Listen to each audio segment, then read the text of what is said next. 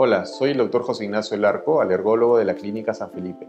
Conversaremos sobre urticaria crónica.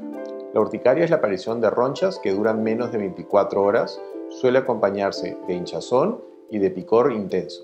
Cuando una urticaria dura menos de 6 semanas, se llama urticaria aguda. Cuando una urticaria dura más de 6 semanas, se llama urticaria crónica. Se divide en dos grupos, la urticaria crónica inducida, relacionada con estímulos físicos, y la urticaria crónica espontánea, que es la más frecuente y más común en mujeres. El diagnóstico es clínico. De acuerdo al grado de severidad, puede producir privación del sueño, trastornos emocionales, depresión, ansiedad, aislamiento social. Y su duración suele ser en promedio de 1 a 5 años.